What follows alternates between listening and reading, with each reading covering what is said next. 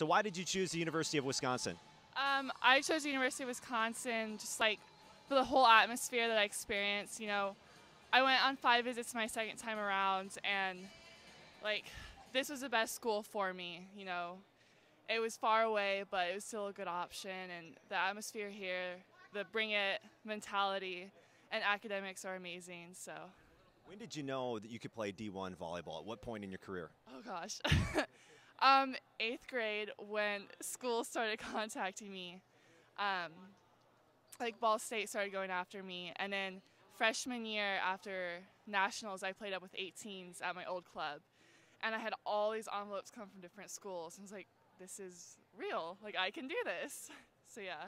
Our spotlight on the Badgers with Wisconsin freshman Julia Wohlert. Uh, what were your thoughts on that win versus Texas? What does it mean for the team at this point in the season, and what was it like to have all these fans here?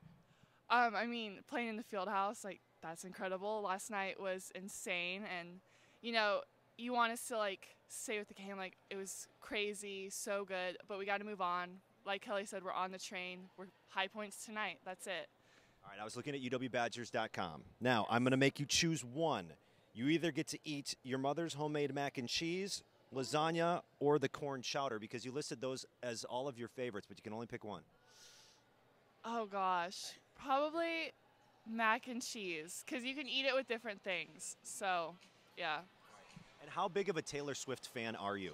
The biggest. Yeah. Yeah, my two Barbie dolls, my posters, my notebooks. What's the deal with 13 and Taylor Swift? It's her lucky number. Did she say that in a song or something? I don't It's know. It's like known that it's her lucky number. All the fans know. So that, that's my number. Yeah. All right, thanks for the time. Thank you. All right, that's Wisconsin freshman Julia Wohlert. Back with more after this. You're listening to Wisconsin Badger Volleyball.